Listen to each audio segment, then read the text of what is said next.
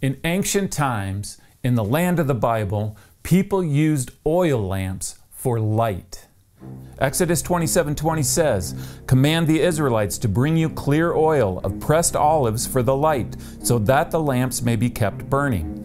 In this verse we see that for the light, lamps were burning oil from pressed olives. In ancient times, literally, light came from olives. And how do you get the oil out of an olive? Pressure. And for this, olives were taken to an olive press.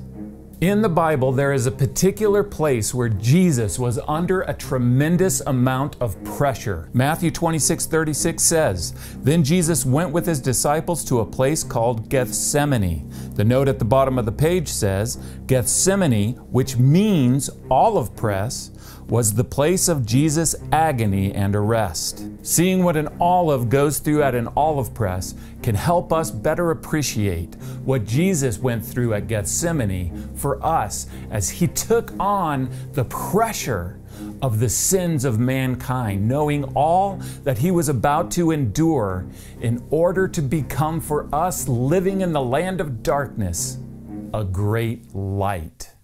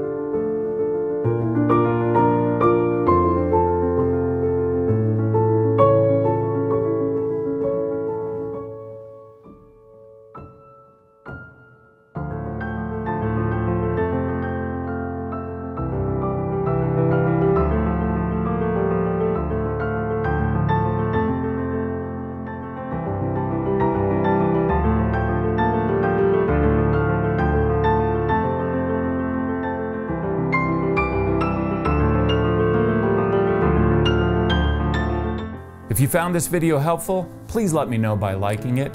And you'll want to watch our other metaphor videos, Jesus the Grain of Wheat, and the feature length, Jesus the Good Shepherd. Thanks for watching. See you next time.